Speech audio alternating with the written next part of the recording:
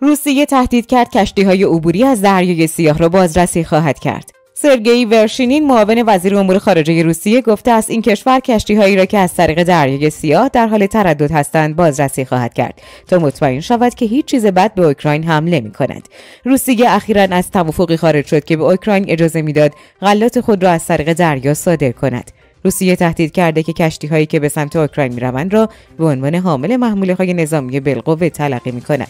این کشور رسما تصمیم خود را به اطلاع سازمان ملل متحد، ترکیه و اوکراین رسانده است. بر اساس این توافق محموله های دریایی اجازه داشتند تا از طریق دریای سیاه از بنادر اودسا، چورنومورسک و جزیره یوژنی عبور کنند. این توافق که سال پیش با میانجیگری ترکیه و حمایت سازمان ملل متحد به دست آمد، امکان انتقال هزاران تن محصول کشاورزی را از اوکراین می‌داد. ورشنین گفت ما باید مطمئن شویم که کشتی حامل چیز بدی است یا نه. این به معنای درخواست بازرسی در صورت لزوم برای اطمینان از این موضوع است. او گفت محصولات اوکراینی نمی‌توانند از طریق دریای سیاه صادر شود مگر اینکه با روسیه توافق شود. اوکراین یکی از بزرگترین صادرکنندگان گندم آفتابگردان ذرت و جو است. ممانعت از صدور محصولات اوکراین باعث افزایش قیمت مواد غذایی در سراسر سر جهان شده است. معاون وزیر امور خارجه روسیه گفته است بدون توجه به آنچه از کیف شنیده می شود بدون روسیه حل و فصل هر موضوعی که مربوط به دریای سیاه و امنیت غذایی باشد ممکن نیست. ورشنین گفت روسیه به کشورهای آفریقایی اطمینان می‌دهد که نیازهای آنها توسط مسکو برآورده خواهد شد. توقف صادرات غلات از اوکراین تهدیدی برای شماری از کشورهای خاورمیانه و آفریقا محسوب می‌شد که وابستگی زیادی به واردات این اقلام از اوکراین داشتند. او گفت کشورهای نیازمند طی تماسهای خود با ما از جمله در اجلاس آتی روسیه و آفریقا تضمینهای لازم را در رابطه با نیازهای خود به محصولات کشاورزی و در درجه اول تولید غلات دریافت خواهند کرد. لهستان سفیر روسیه را احضار کرد.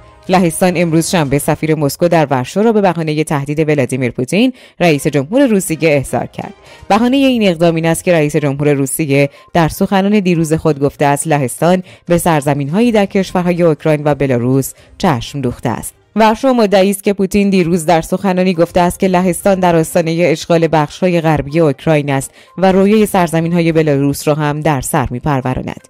پوتین تهدید کرد که با زور پاسخ لهستان را می‌دهد. وزارت خارجه لهستان نیز امروز سفیر روسیه در ورشو را برای توضیحاتی احضار کرده است. لهستان یکی از حامیان اصلی اوکراین در جنگ علیه روسیه به شمار میآید.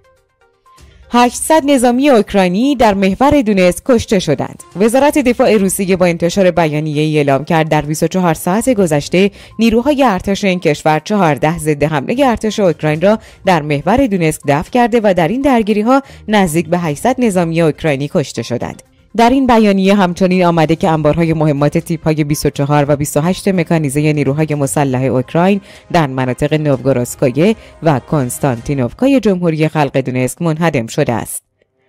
اوکراین با مهمات خوشه‌ای روستایی در بلگراد روسیه را بمباران کرد. ویاچسلاو گلادکوف رئیس منطقه بلگراد روسیه گفته است که نیروهای مسلح اوکراین با مهمات خوشه‌ای دریافتی از آمریکا به روستای ژورالیفکا حمله و زیرساختهای غیرنظامی را بمباران کردند. به گفته وی شبه نظامیان ارتش اوکراین از 21 گلوله توپخانه و سه پرتابه خوشه‌ای برای بمباران استفاده کردند. گلادکوف گفته است که این حمله هیچ قربانی بر جای نگذاشته یا خسارتی به زیرساختها وارد نشده است. جان کربی مشاور امنیت ملی کاخ سفید اوایل هفته اعلام کرد که اوکراین استفاده از مهمات خوشه‌ای که واشنگتن برای آنها فرستاده را آغاز کرده و مدعی شد که کیف درست و بجا از آنها استفاده خواهد کرد. ممنون که تا پایان با ما همراه بودید. جهت آگاهی از مهمترین رویدادهای ایران و جهان، کانال ما رو در زیر همین ویدیو subscribe و زنگوله اونو فعال کنید. وقتتون خوش و خدا نگهدار.